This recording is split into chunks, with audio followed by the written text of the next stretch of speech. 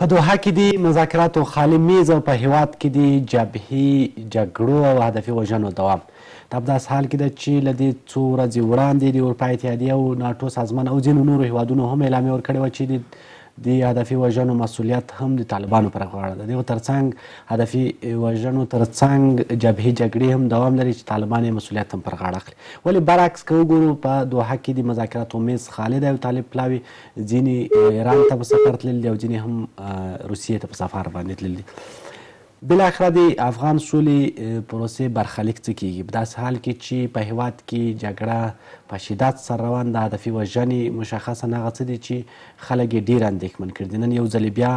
په کابل کې هم هدفي وژنه ترسره شوې ده بښنې سره د ماین انفجار شوی ده کندهار او ننګرهار کې هدف وژنې ترسره شوې دغه ترڅنګ په اروزګان کې موټر بم چاودنه ترسره شوې دا موټر بم چاودنې هدف وژنو او د هغوی دوام څه پیغام لري او دغه ترڅنګ د مذاکراتو خالي میز عوامل څه دي بالاخره څه وخت به بیرته طالبان د مذاکراتو میز ته راګرځي سلامونه او نیکیلی قدرمندونکو زه عصمت ترک یم او دې خبرونه کې را سره د سیاسي چارو شنونکی ښاغلی خیرالله پښتون په همدې تړاو بحث کوي ستاسو اړیکې نظرونه او پښتنې به هم د ټلیفون پر کرښه د خبرونې په جریان کې را سره پښتون صاحب تاسو ته تر هر څه لومړی راغلاست ویل دې ځای نه به پیل کړو چې تازه ارزونه مو د سولې له پروسې نه څه ده بسم الله الرحمن الرحیم تاسو او د ژوندون ټلویزیون ټول لیدونکو ته سلامونه وړاندې کوم ګورې ترکه صاحب چې د سولې پروسه یعنی د افغان سولې پروسه په ټپه ولاړه ده یعنی نه باید داسې شوي وای دلته تاسو ولیدل چې د طالبانو مذاکراتي پلاوی یعنی د ایران سره یې ولیدل او بیا لاړل د روسیې هیواد کې د عباس ستانکزي خبرې تاسو واورېدلې چې د موقت حکومت غوښتنه یې وکوله چې د افغانستان د خلکو د ارادې خلاف او د افغانستان د خلکو د غوښتنو خلاف هغه غوښتنه چې د افغانستان د خلکو له سخت غبرګون سره مخامخ شوله نه باید داسې شوې وای زما په نظر باندې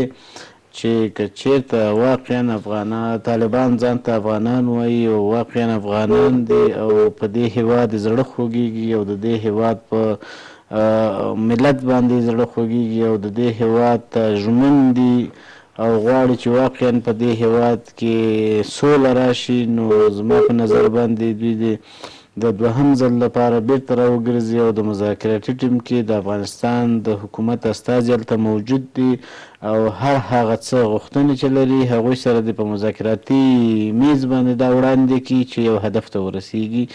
بلکل یعنی مشخصا پښتون صاحب که ووایاست څه دي چې لامل څه وي دا یې رښتیا هم لامل همدا ده چې د امریکا حکومت تغیر شوی دی له همدې امله طالبان مذاکرات ته زړه نه ښه کوي یا هم د دوحې پر تړون باندې بیرته د هغوی له سره کتنه او یا هم طالبان په دې باور یا دې فکر ته رسیدلي دي چې ګواکې د سولې پروسې لارې دوی خپلو اهدافو ته نسي رسیدلی یا هم نور اختلافات او عوامل دي چې د مذاکراتو میز خالي پاتې دی په داسې حال کې چې بین الافغاني مذاکراتو لپاره خو هیڅ داسې خنډ نه و باید هماغسې معمول په څیر دوام پیدا کړی وای. ګوره تا ټولې خبرې په دې کې دخیل دي زما په نظر باندې چې د طالبان ما مخکې هم څو څو ځله ویلي بیا یې هم وایم چې طالبان په خپل واک کې نه دي یعنې دوی دغه مذاکراتو د قاطع فیصلې صلاحیت نه لري یعنې تاسو که د تیرو دورو د حکومتونو یعنې د د ډاکټر صاحب نجیب د حکومت هغه د سولې خبرو ته لاړ شئ یا مثلا هر هغه موقت حکومت چې مثلا د صبغت الله مجددي په مشرۍ باندې په افغانستان کې د دوو میاشتو لپاره راغی هغه ټول بهرني لاملونه درلودل چې بیا همغه سناریو د دویم ځل لپاره په افغانستان کې په تکرار کېده یعنی هغه تاریخ مونږ او تاسو نه ده هیر کړی زمونږ او ستاسو په یاد ده چی هغه ټول د بهر له خوا نه په مونږ تپل شوی وو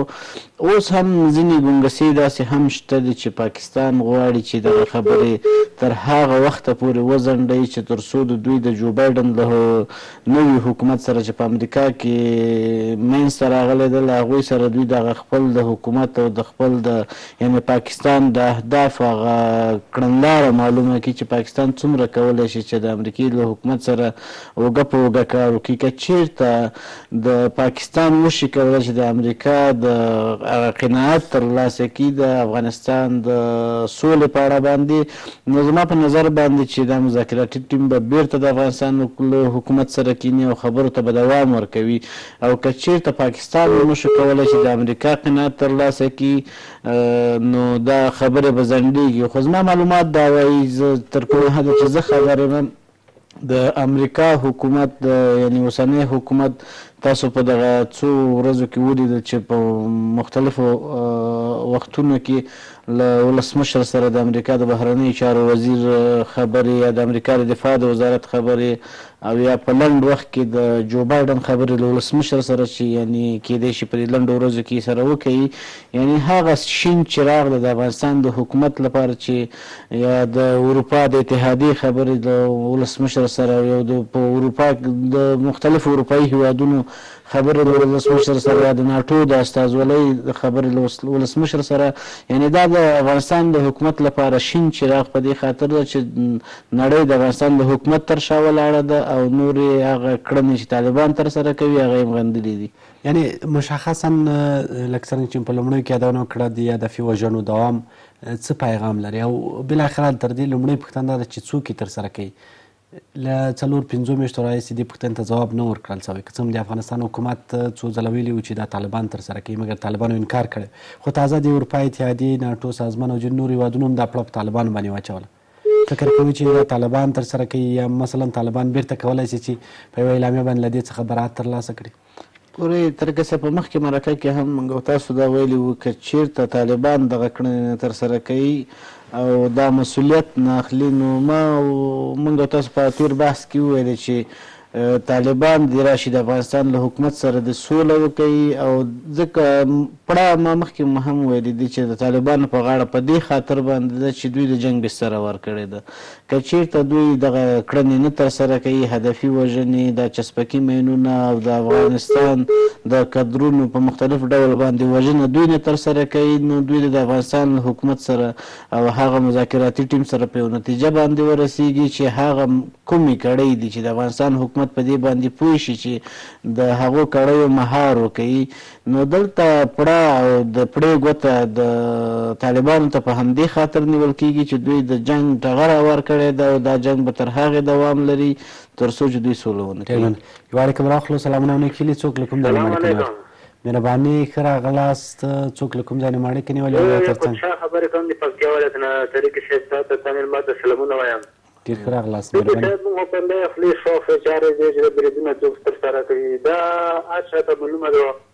چې دا بریدونه مونږ دښمن معلوم دی کسې په دا ژمي یا یخ هوا کې نور شي پار دی کې دې ځینه معلوم دي او غوندې ستورنې پوره متجي کیږي کنه هر چاته دا پاته لګیدلې ده نو مونږ نه چې دی چې دا بریدونه څوک کې دا مسؤلیت څوک په غوړو خو مونږ خپل دښمن وړه بچي بچي ته ولا پاته لګیږي مونږ دښمن څوک دی کنه زموږ داسې سترګې پټې دي وطريقي صاحب موږ خپله غږ کړی موږ خو دا ولسوني غږ ده چې دا به ورځ په ورځ شيدون کيږو نو چې ولس نه دا مملت څخه نشي په دا حکومت بيا موږ ولاکه څومره سپور وکړو ځکه چې خبرې څه لري نه حکومت کې تحصيل حکومت کې بې بستي کړې دي کنه څوک يې رونده ګټه کړي څوک يې پکستون ته کړي څوک يې وروسته کړي نو موږ دا غوښتنه ده چې شدانه وایي چې دا مړه شو دا ودړ دي دوه نه باسوا په ولسي نومو هغه د چا خيره ولا چپ شوی ځکه چې دا خو هر سړي ته پته لګيږي چې زموږ دښمن څوک دی کنه نو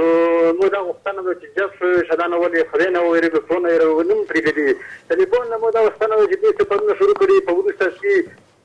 خبرو ته نه بيريږي په دې بل ټل اوس چې دي کنه خپل افغانيون مرکوي دا موږ ته د شارم خبره ده چې ته خپل افغانيون مرکوي روس خوشحلوي پاکستان خوشحلوي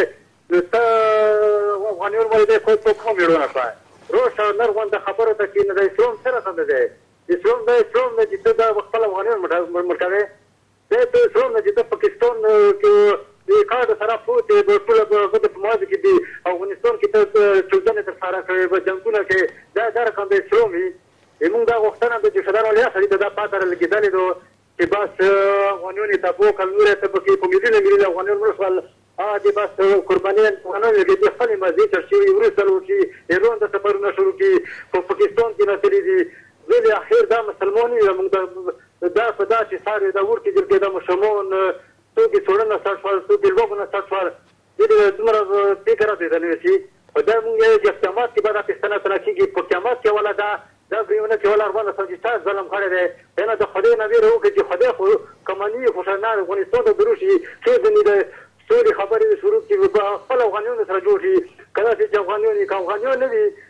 بیا نو خدای خودی خمار په مو کې سار دی پنده پر دی وتلو ژوند دا غوښتنه دو. ډېره مننه خیر سي کور مودان چي خپرونو کي مو اړیکه نیولې وه خپل نظر مو راسره شریک کړو پښتون صاحب بیا هم راګرځو پخواني بحث ته ستاسو په نظر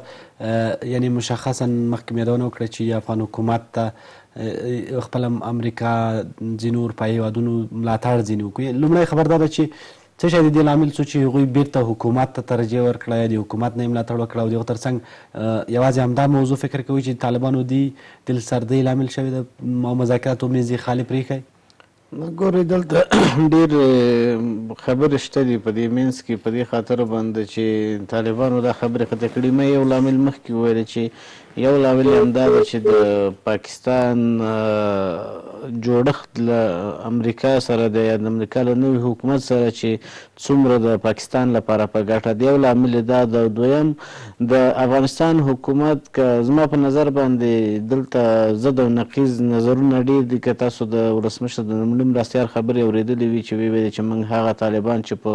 دغو ترورونو کې او په دغه بریدونو کې لاس لري هغه مونږ اعداموو نو دلته زما په نظر باندې چې یو لامل یې دا هم و ځکه طالبان هم اوس دلته ځان ته یو څه وایي او په یعنې د افغانستان په مختلفو ساحو کې دوی وسله وال فعالیت لري نو دوی په دې خاطر هم چې هغه خبرې ودرولې، یعنې یو لامل یې دا و چې که تاسو د مونږ هغه طالبان چې تاسو سره اسیر دي یا بندیان دي هغه اعداموئ نو مونږ دې مذاکراتو ته دوام نه ورکوو، یو لامل یې دا و او بل نو طالبان خو مارته ویل چې هغه غوښتنې چې د افغانستان د خلکو له ارادې سره خلاف دي یعنې د موقت حکومت غوښتنه ده چې یعنې ویې کړله او هغه د افغان حکومت له د منلو نه ده، ځکه افغان حکومت او د افغانستان خلک له تېرو دغو موقتو حکومتو نه ښه خاطره نه لري او تل هغه موقت حکومتونه چې راغلي د افغانستان نظام له مینځه تللی ده، د افغانستان وسله وال فوځ له مینځه تللی ده، د افغانستان پرمختګونه له مینځه تللي نو دغه مختلف لاملونه دي چې طالبانو خبر په ټپه درولي دي او د افغان حکومت هم له نړیوالو سره په اړیکو کې ده چې وشي کولای د هغوی ملاتړ ترلاسه کړي چې یو څه اندازه یې ترلاسه کړی هم ده. که راخلو سلامونه ونې خیلي څوک له کوم ځای نه مړکه نیولې. هلو. مهرباني څوک له کوم ځای نه مړکه نیولې. سلامت اوسې کابل خان احمد خان یم. ښه راغلاست مهرباني. سلامت اوسې خپل سلامونه تاسو ته او ستاسو درانه میلمه ته وګورئ محترمه لکه دا جنګ د بهر نه تپل شوی په افغانانو باندې که تاسو دا درې څلوېښت کلن جنګ وګورئ اصلي عامل او لامل یې هغه روسان وو او د روسانو ګوډاګیان هغه خلقیان او پرچمیان وو چې په افغان ولس باندې دا جنګ وتپل او درې ملیونه خلک هغه وخت شهیدان شول او نن هم اشرف غني چیغې وهي چې ګویا مونږ د دنیا په نمایندګۍ د دنیا د امنیت په خاطر په افغان په افغانستان کې جنګیږو او د دنیا د امنیت په خاطر افغانان قرباني ورکوي څوک تا ته ویلې چې جنګ وکړه تا دوانه اوریدل چې ترمپ په خپله وویلې دا ډیر د شرم خبره ده ته چا په افغانستان باندې برید کړی هغه احمق وو لکه بې عقله وه نو عطا بوچ غلی پاتې شو او دلته ځینې ګوډاګیان دي چې ددې نه دفاع کوي تاسو واوریدل چې نن سبا زمونږ هوایي ډګر لکه د قاچاق کیږي د طلا د سرو زرو نه نیولې تر پنځوس میلیونه ډالر دا د رولا غني ښځه چې کومه ده دا بهر ته لیږدوي ایا دا د شرم خبره نه ده؟ راه نو په دې موقت حکومت باندې وګورئ که چېرته په دې موقت حکومت باندې زمونږ افغانانو هينه بندېږي او نظام بچ کېږي د شړېدو نه څنګه چې جنرال نجيب اصرار يې کاوه ټينګار يې کاوه چې مونږ فراه نه پرېږدو تاسو وليدل چې د فراه په حالت کې وو د جنرال دوستم کسان هغه يې د جاز نه د الوتکې نه ښکته کړل. هغه هم لکه دغه شو هم نظام وشړیدل اوهم فوج هر دغه که چیرته حکومت کې دومره قربانی وی چی جناب اشرف غنی دی حکومت موقت ته ځان چمتو کی نظام هم بچ کیږی نظام مقصد می دا ده چی دولت دولت سیستم ده حکومت ځی او راځی نو پکار ده قربانی که ورنکړی نو ددی ناورین جنګ قرباني به ملت سي نه داشرف غني زوی ځکه زوی او لور يې امريکا کي ده همدغسي د امرالله خان صالح کډه يې په استراليا کي ده د عبدالله کډه په هند کي ده نو د ټول چارو بهتر دا ده چي حکومت موقت ته دغه غاړه کيږدي چي دا جنګ پای ومومي ځکه که چيرته خدای مه کړه دا جنګ همدسي دوام ومومي قرباني ملت کيږي نه اشرف غني ډیر مننه ښه یاست کور مودان چی اړی کوم نو ولی وخت په رڼ کی خپل نظر راسره شریک کړو مهربانی وی پښتون صاحب تاسو کوم په همدی تړاو کی. ګورئ زما په نظر باندې د موقت حکومت غوښتنه هر هغه څوک چې هغه په انزوا کې دي او د قدرت نه بیرون دي د افغانستان حکومت یعنې په مختلفو برخو کې یې پخوا کارونه کړي هغه سیاسیون یادوم چې هغه اوس په انزوا کې پاتې دي هغوی د طالبانو سره او هر هغه څوک چې د یعنې که مستقیماً د هېوادونو لاسپوڅي نه دي په غیر مستقیماً د ځینو هېوادونو د ګټو لپاره کار کوي، هغه څوک چې هغوی د افغانستان لپاره ژمن نه دي هغوی د موقت حکومت چغې وهي په دې کې شک نشته ده. مګرم د افغانستان حکومت لپاره چې زه څومره معلومات لرم دغه موقت حکومت سره کرښه ده په دې خاطر چې نه غواړي تاریخ تکرار کړي او خپل ولسمشر څو څو ځله په خپلو خبرو کې د تاریخ د تکرار نه ډډه کوي خاص همدغه ده او نه غواړي افغانستان کې راشي د موقت حکومت د افغانستان دغه اوسنی نظام اوسنۍ شتمنۍ د اوسني کوم څه چې لاس ته راولي دي دا له منځه وړي. یعنې ستاسو په نظر چې طالبان هم د همدې غوښتونکي دي که چېرته دا کار ونه سي لکه څرنګه چې عام ذهنیت هم ډېر دي موقت حکومت په خلاف ده نو د سولې پروسې برخلیک به څه کېږي؟ ګورې ما مخکې وویلې که چیرته د افغان د افغانستان حکومت یا د طالبانو دغه مذاکراتي ټیم د افغانستان لپاره ژمن اوسیږي او د افغانستان لپاره کار کوي زما په نظر باندې هر هغه څوک چې هفغان وي او د افغانستان لپاره کار کوي هغه د دغسې یو غوښتنې چې هغه د افغانستان حکومت د افغانستان نظام له خاورې سره خاورې کوي هغه دا غوښتنه نه کوي نو زما په نظر باندې طالبان باید هغه غوښتنې چې هغه د خلکو له ارادې خلاف دي هغه غوښتنې چې د ملي منافعو خلاف دي هغه غوښتنې چې د افغانستان خلکو ته په ګټه نه دي یعنې عامه شتمنۍ له منځه وړي له هغو نه ډډه وکوي که واقعا طالبان د خپل د تریبیون نه غږیږي یعنی هغه د خپلو خبرې کوي او د استخباراتي کړیو له خولو نه غږیږي نو را دې شي د افغانستان له مذاکراتي ټیم سره دې خپل دغه غوښتنې شریکې کړي چې ترڅو یو هدف ته ورسیږي او هغه هدف د افغانستان د خلکو لپاره سوله ده. بلکل یعنی پښتون صاحب تر ټولو مهمه خبره دا چې د پرون د مصالحه اعلی شورا رئیس هم ورته اشاره کړې وه طالبان چې کله په تهران او په مسکو کې دا غوښتنې مطرح کوي مګر د مذاکراتو میز خالي پاتې دی هلته د بین الافغاني مذاکراتو لپاره د افغان دولت مذاکراتي پلاوی ناست ده ولې له هغوی سره په میز باندې دا خبرې نه شریکوي؟ ستونزه همدا ده ګوره تاسو زه چې څومره معلومات لرم د دوحې نه یعنې په قطر کې چې تاسو لاړ شئ وایې هلته دغه د افغانستان د د طالبانو دغه مشران چې دي یعنې هلته دوی په مختلفو ډولونو باندې کله چې دوی د مذاکراتو له میز نه جګیږي هلته دوی مختلف نوع مشاورین لري چې یعنې هغه څه چې هغه مشاورین ورته وایي او دوی راځي بیا یې په میز باندې مطرح کوي هغه خبرې هغه خبرې بیا چې کله بیا دوی یعنې دویمې غونډې لپاره امادګي نیسي بیا هغه خبرې سره تغیر خوري یعنې کوم څه یې چې په میز باندې سره مطرح کړي هغه سر ته نه رسیږي هدف دا چې هلته ما د مشاورینو یعنې هغه اشاره وکوله هلته چچني مشاورین شته دي هلته ایراني مشاورین موجود دي هلته پاکستاني مشاورین موجود دي هلته ایراني مشاورین موجود دي د طالبانو په خاطر باندې چې وشي کولای له دوی سره مرسته وکړي تر څو هغه هدف یعنې هغه شوم اهداف چې د سیمې او د منطقې استخبارات یې لري او طالبان هغوی ته ورسوي چې زه ویاړم په دې باندې چې رئیس جمهور خپل هغه دریځ باندې کلک ولاړ ده او هغه څه چې ولسمشر غواړي هغه د افغانستان د خلکو غوښتنې دي یعنې ولسمشر هغه پوره او کره معلومات لري په دې اړه باندې چې دا د دوی د خپلې غوښتنې نه دي، دا د سیمې او د منطقې د استخباراتو غوښتنې دي. پښتون صاحب په داسې حال کې چې د دوحې تړون د امریکا تر ارزونې لاندې ده، همدا اوس ارزول کېږي، ولې دلته برعکس په ښارونو کې چاودنې روانې دي، هدفي وژنې روانې دي، په داسې حال کې چې د ټولو پړان په طالبانو باندې اچول کېږي، دا کار څومره د طالبانو په زیان تمامېدای شي؟ ګورئ زما په نظر باندې دا به ښه خبره وي چې د دغه تړون د دوحې تړون امریکایان وارزوي که چیرته دې تړون کې ستونزې موجودې وای او یا د داسې غټې ستونزې چې هغه د امریکا لپاره خطر وای یا د افغانستان د حکومت لپاره خطر وای